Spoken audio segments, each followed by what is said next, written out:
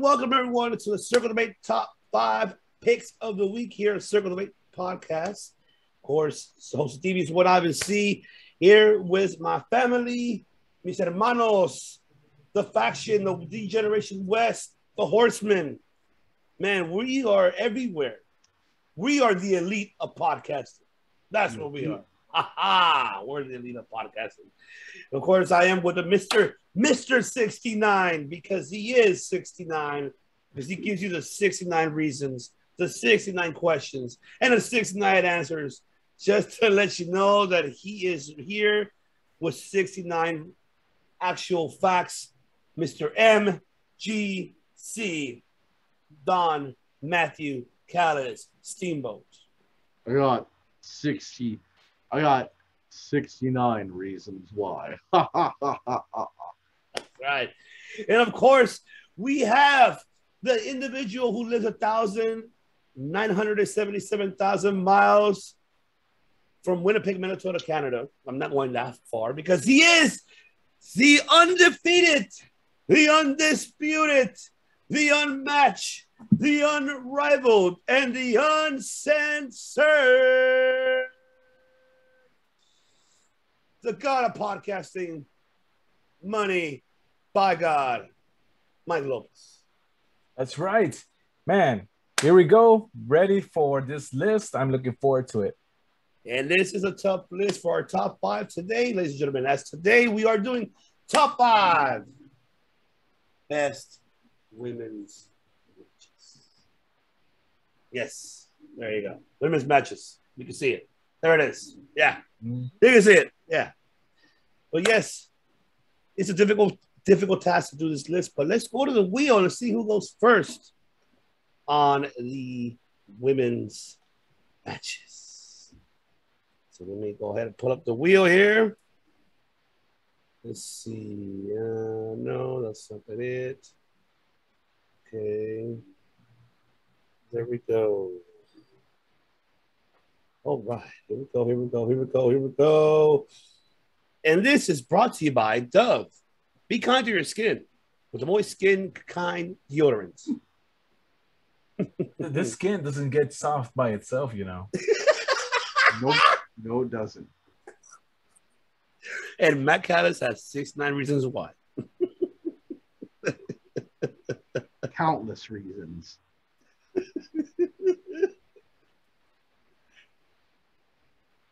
And there you have it. Mr. MGC. 69. And let's take it away. It's been wanting me to go first for a minute. So, like a while, a while now. So, you know what? I'm gonna I'm gonna kick it off. My number five with with this one, very recent women's match, and this was a hair versus hair match. The loser had to shave their head in this women's match. This happened over this a- this actually happened uh, the Stardom All Star Dream Cinderella at the Budokan in Tokyo. Big time. It was a big one of the biggest shows for Stardom, you know. And it would have had more people if it wasn't for you know the pandemic, sadly, you know. So so it had its limits. And this match was between Julia and Tam Nakano for for the of course Wonder of Stardom Championship, which is like the intercontinental title of Stardom. And there were this match was actually pretty brutal. There was tiger drivers, there was, you know, tiger drivers through a table, you know, just a lot of brutal stuff. And the funny thing is this match, you know, it ended with Tam Nakano shaving Julia's head while crying. And Julia's like, I don't care, shave my head. I'll shave it myself since you're too busy crying. so it's kind of like a I don't know if any that's happened in a in a hair versus hair match where it's just like, ah, fine, I'll do it myself. God's sake. she took the clippers to her own head, you know. So she went with a crew cut first and then she went full ball. But it was it was a very brutal match and it was great with the storytelling. Number four, I'm gonna go to Stardom again, and we got Io Shirai versus the alpha female for the World of Stardom Championship, which is their top title. Now, the alpha female, you know, her, her real name is Marie Kristen Gilbert. She's from Germany. She's very, very tall, powerful woman, much taller than Io Shirai. And it was just crazy watching her chop down that giant, you know. It's like your whole Undertaker versus once again, it's that Undertaker versus Shawn Michaels psychology that you have to that match, big and small. And you have and you do a lot of cool things with it. And Io Shirai finishes her off with a really crazy kick to the head. You know, she was doing a lot more kicks back then. So that's my that's my number four. All right, so my number three, that's going to be Maki Ito and Miyu Yamashita, a tag team match versus Neo Bishikigun, which is like the Beauty Awareness Society. And that is where Saki Sama and Mei, Sugu, Mei Suruga are like, they're like French maids. You know, Yeah. Mei Suruga's like a French maid, and then Saki Sama's like a French queen.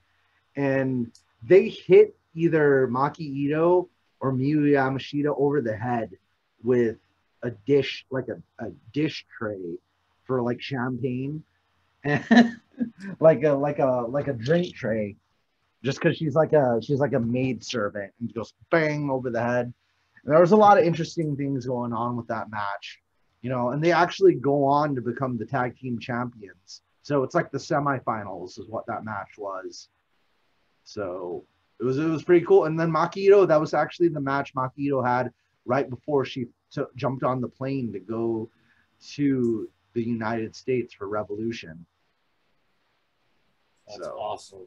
Mm-hmm. Mm-hmm. Oh yeah. My number two, Maki Ito versus Mizuki. That was her tag team partner, right? Mhm, That was her tag team partner. That Part two, right? part two, the revenge match against her. There was a lot of crying and screaming at the end. It was kind of like clo- the closing chapter on that long rivalry. Yes. It was built up over probably almost two years, you know. And Maki Ito looked different back then, so it was way the- different. You're absolutely right. yeah, the grudge match, Maki Ito versus Mizuki.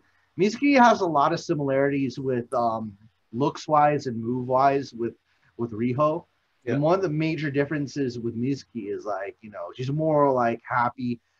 Riho in, in Tokyo Joshi Pro, she's like an aristocrat. You know, she's like she has great pedigree for for wrestling. So she's seen as like on a whole other level than a lot of the other girls there. All right. My number one, Gail Kim versus Awesome Kong in Impact. You're the man. You're the man. Let's do that right. Woo! That's like, uh, and once again, a lot of people compared that to Vader versus Shawn Michaels psychology wise. You know what? You are absolutely on point. Because that match itself was strategically similar to that match. So let the people know, Mr. 69, why they should compare those matches. And and all, all, of the all of the different moments you know big and small you know like you got the the baby face fast and, and skinnier and then you have the big powerful heel in the role of awesome kong using all of her strength and all of her power against gail kim. So that that's why that gets my number one. I gotta say that that i'm very sad to hear awesome kong's retiring. You know I, it feels like just yesterday that I saw her surprise us all at Double or Nothing.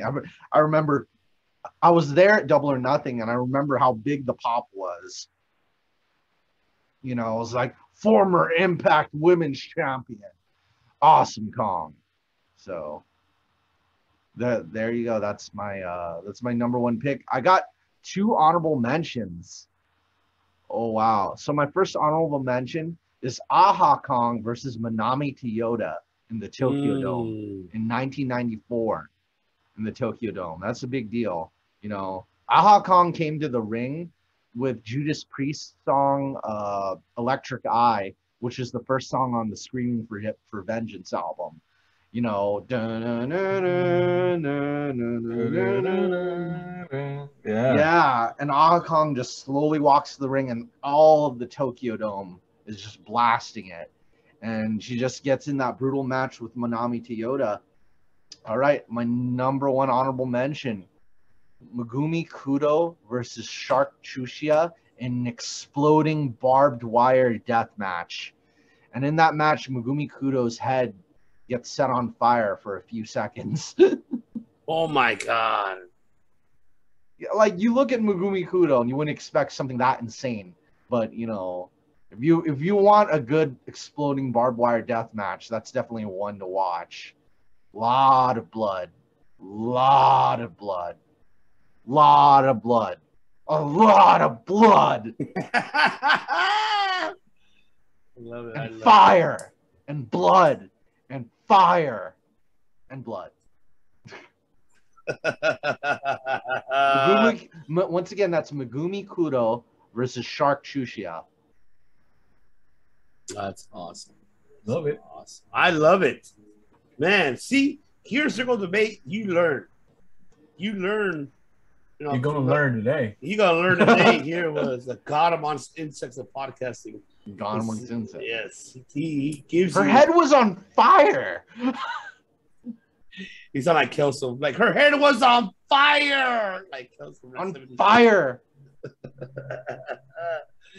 I love it. Let's go to the wheel. See who is next between Money Mike and I. Let's see who goes. And brought to you by Target. Save five percent. Get more every day, and save up of one fifty on select Lysol items on Target Wow. Circle. Oh, you gotta close my other one. And don't forget US Bank. That's right. And don't forget also AMC. Oof. All right, here Oh we go. God. Let's Let's- do this. The god of podcasting is going up next. All right. So, man, many, many women's matches. Uh, there's so many good, good ones there. Uh, number five, I'm going with the main event of WrestleMania 35, Ronda versus Bec- Becky versus Charlotte. Honestly, the anticipation uh, was was there. You know, um, yes, the argument could be made that it could have been fine without Charlotte. That's okay. But why not? Put her put her in there. She's, you know, very she was very or is very capable of being in the main event of WrestleMania. She's a flair, you know. Uh, so definitely I, I enjoyed it. The only kind of uh downside to the match was the pin where or the finish where you know Ronda's shoulders were clearly not on the on the mat. No, no pun intended, Matt. Um, um, but that leaves the door open for you know a rematch or for the story to continue right away as soon as Ronda's ready to go, if she's ever ready to go. Know Uh, about that, so- buddy. Well, who knows at this point? Um, Number four, Victoria versus Molly Holly, WrestleMania 20. And uh, uh, there, do you want to talk about hair versus hair? Mm. Man, ah, it- I I enjoyed watching this, and uh, yes, I guess this it, it, the match itself was decent, but the spectacle of it was the hair shaving. Right, you had Victoria shaving Molly Holly, and then uh, well, I mean, you got to keep going right until it's over. Uh, but the next match is coming, and what's the next match? Eddie Guerrero versus Kurt Angle, and we have Kurt Angle. Uh, I, I can't remember if he took a glance at them or something uh, as he was coming out, but yes, Molly Holly was still getting her head shaved while Kurt Angle was making his entrance uh, on WrestleMania. How crazy is that? Um, number three is a recent one, fairly recent to others in this list, and that is Britt Baker versus Thunder Rosa unsanctioned. I man, this this right here. Mm-hmm. I honestly feel like this catapulted Britt Baker to main event status to the point where she's you know seen as the face of the women's division in AEW and she could easily easily if she chose to transition over to WWE and has a name for herself already. You know, people would be excited to have her there too. And I feel like it's matches like these that put people on the map. Uh, and it did just that. On and for both of them, for both Thunder Rosa and Britt Baker. Um, brutal, brutal stuff going on there. Uh, the shirt that was sold afterwards, it, it tells the story. You know, bloody Britt Baker. It, it, it's almost reminiscent of of of Becky when she had her uh, bloody faced T-shirt also. Uh, but yeah, so that's my number three. Number two is one that uh, I, I enjoy, you know, very much so, uh, and it has been heavily censored, to be honest. And that is Trish Stratus versus Mickie James at WrestleMania 22. And yes, there's these moments where you know, there's some grabbing and some licking and you know all that stuff. Woo! Right? Woo! um, Excuse us. and uh, TVMA, but we're on. He's uncensored. I'm uncensored Uh, completely. SoCal Uncensored. take, take, take it up with my manager if you got a problem with that. Hey, here's a Fonzie. Oh, Um, I, I, I really just enjoy this match. The and, and, and honestly, not just because of the the raunchy stuff that went on uh, during the live broadcast, but stories like this are hard to come by nowadays. You know, uh, like stories that just fall in place. You know, I don't know what the I don't know if it was the original plan all along to have uh, Mickie James versus Trish uh, at WrestleMania, but it shaped up to be that. You know, uh, she showed up, was the obsessed fan, months and months of build up, and we have this match, right? So, you know, it was great. My number one has to be it is Sasha versus Bayley, Brooklyn Takeover. Yes, it has to be that. My goodness.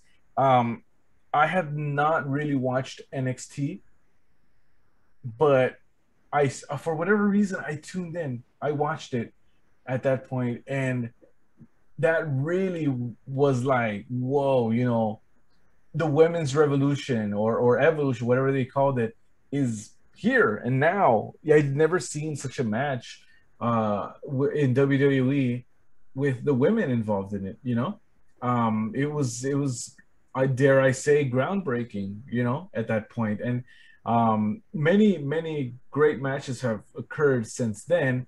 Uh, but I feel like this was kind of like what catapulted things or or opened the door for um, a lot of uh, new ideas. Since then, they've been in Hell in a Cell or women in general, Hell in the Cells, Royal Rumbles, Elimination Chambers.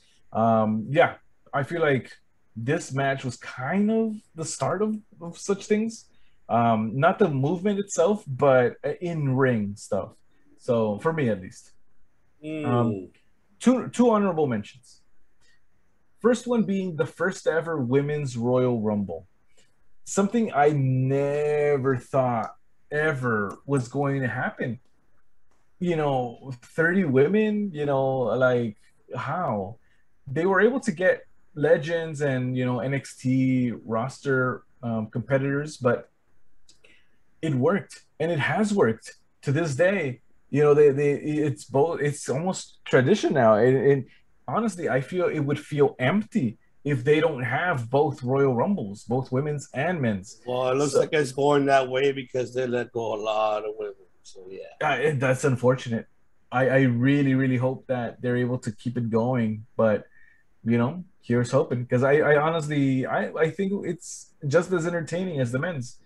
Um and my second honorable mention just happened a few weeks ago uh it was it's Deonna versus Melina at NWA Empower now granted and I did say this uh on on the Circle of Debate episode there were some botches but honestly like I I don't know. I there was just something about this match that I I liked watching it, and um, I hadn't seen Melina in the ring in a while. Uh, Deonna Purrazzo is uh, is honestly is winning me over as as Impact champion, with uh, knockouts champion. Um, and honestly, like I think it was a pretty cool match, and uh, I enjoyed watching it. So uh, I decided to put it in there too. You know what? That match was very emotional. It Mm. wasn't even about the botches, just uh, just the emotional match itself between Melina and Deonna. Yeah. Melina it's her last chance to get something, especially a prestigious title. You Mhm. know, and she's underrated in my opinion. Nobody gives her the credit that she deserves. If you go back to her history, her matches, she's put pretty good matches in WWE during her tenure. I don't, you know, she did a great job, and I and I enjoyed her very very much. And so, Agreed. yeah, cannot wait. Man, this this was damn hard, man. Fucking hard, but I'm gonna try to make it. I'll do the best that I can. Number five, Lita versus Trish Stratus on Monday Night Raw when they first main evented. The Mm. first ever women's main event on a Raw television show. They made it happen. I think without those two women, none of that would have happened at all. So, and I'm glad they created that pathway to that direction. Uh, and I'm happy for that, that they had done that, you know, like, and given the time, I think the match itself was like 11 minutes, 12 minutes, I think the most tops are close to 15. And I'm happy. And this is Lita almost breaking her neck to that suicide dive. You know, like Jesus. Kudos was that what was that what it broke her neck, or or led her to the time off? No, No. Okay. she was close to, but no, that wasn't one. She came back from a broken neck injury from that, Yeah. and then she went through that. She held her neck like, oh shit, she re injured it. Everybody was scared. Yeah. The way how she bended, I was like, ah, shit. Mm. Number four. Number four. and This is a stardom one because I now I remember. And it's Utami Hayashishita versus Maika. That was a recent one. I actually did enjoy that one because Maika is a very underrated, underrated top star that it's barely getting there in stardom. And Matt could tell you, uh, if you want to give the people the knowledge of Maika very briefly, of her underrated talent, and also Utami, because they put on uh, an emotional match. If you go back and Tommy's look at the it, current. yes. The current champ. Yes. But what uh emotional match though. If you go back and look at it, it was very emotional. I did enjoy that one. I ain't gonna lie. I did enjoy that. That one I did enjoy. This is tough. Number three. It will be Charlotte Flair versus Natalya on the first ever NXT takeover for the women's championship when Ric Flair was on her side and Bret Hart was on Natalya. I think they created more the atmosphere for the women's revolution. Even you know they already created it before, like with Mickie James, Trish, Lita, Jacqueline, Victoria, all you know, Jazz, Molly Holly. But I feel that it finally caught eyes on this brand uh, and it finally did. Like well, Paige and AJ Lee, they did too. They were the last ones, you know, then before, you know, it started regrowing. But this match was enjoyable, technician at his best, and this took out the best of Charlotte, in my opinion, to be where she's at now. The woo, the queen of professional wrestling. Hmm. So that's my number three. My number two. That's a tough one. My number two would be Santina. no, not Santina. My number two will be All In 2018. Tessa Blanchard, Madison Rayne, Britt Baker, and Chelsea Green when they made history. All in, fatal four way, random, and they made history. And it was incredible. There was a big pop for Tessa. Yes. Very big pop. A very big, big pop for that. And I enjoyed it very, very, very much. And I give them, you know, kudos for it. My number one. Of course, I do enjoy the Brooklyn one, but it's a tie. I have to put it a tie. So, Hmm. yes, Sasha and Bayley. It's a tie. NXT Brooklyn. The other one, for me, has to be Asuka and Sharp, WrestleMania. Hmm. I loved it. I enjoyed it because I loved Asuka, and it was the first time I was excited. I was like, "Yes, Ah! we're gonna see Asuka finally fucking end her streak." I was like, "Yes," but it didn't happen. Mm. I was. Disappointed. I was disappointed. Tough, yeah. I did enjoy. Yeah, I did enjoy it. Three honorable mentions. One will be Jazz versus Trish versus Lita, WrestleMania 17. I enjoyed it. 18. 18. Thank you. Oh, yeah, 18. Yeah, you're right. Shit, 18. Fuck, I, I was getting confused. You're right. 18. My apologies. 18. Uh, I did enjoy that match. It was not bad at all. Uh, and plus, Jazz walked out as champ. I actually enjoyed it. Very, very uh, great moment for Jazz, too, especially at Mania. Second honorable mention Becky Lynch versus Asuka at the Royal Rumble. I think we we we got to see a lot of Becky technical style, even Mm. though she lost. But I did enjoy it. I did enjoy it. My last one, another one that I did enjoy that is, I think for me, my opinion was like whoa, because we finally got to see the more of this individual, and that is Ronda Rousey versus Sasha Banks at the Royal Rumble. That was an emotional match, and I like how Sasha was like, "For a husband's bitch, it's still me." You know, it's, it's all about us. I enjoyed it. This is this this this was hard for me. I know people are gonna give me shit about it. I'm missing Gail Kim versus Mick James and TNA. Uh, there's so much I'm missing. Like I'm like shit. But this list was a difficult one. So now let's go to the wheel of pits to see what are the next two that we're gonna choose. So let me get my wheel here. I haven't, I haven't been on enough of the worst ones. Those are always so fun. I know, right? Let's let the wheel speak. The wheel knows all. And The wheel all. will know it all. And here we go. Spin that. That wheel. Come on, worst injuries. Uh, oh, Best Botchamania. Botchamanias. Yeah, yeah. Oh my god. Okay. They're eat, they're eating her. Then they're going to eat me. Now let's Oh go to another God. Super Dragon.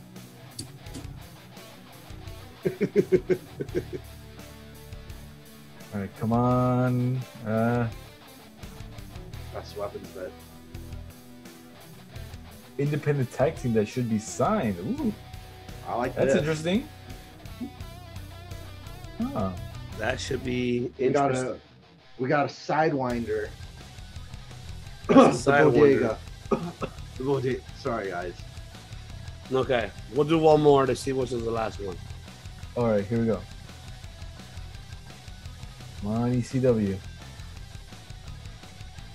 Dang. Oh.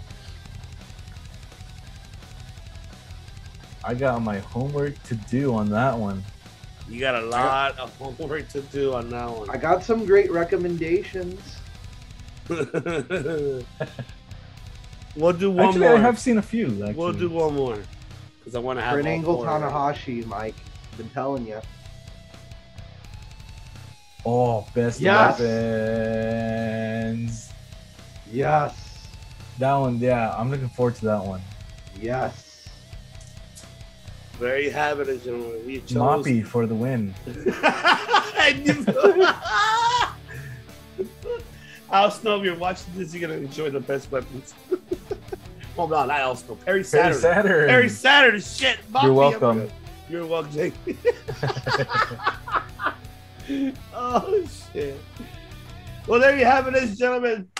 Thank you for tuning in here on our top five picks of the weeks. You'll be seeing more of these coming up. Um, just remember, at the end of this video, subscribe, hit that like, hit that subscribe button, get your notification, hit that ring bell, get all your top fives, all your weekly episodes, and much, much more content here on Circle Debate.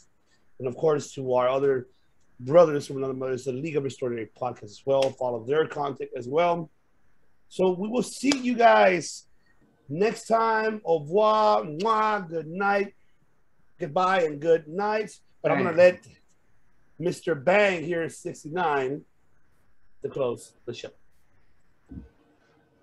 We don't make podcasts. We make drinkable yogurt. Mm. That's right, baby. That's right, baby. Ooh yeah. Oh, yeah. There you have it.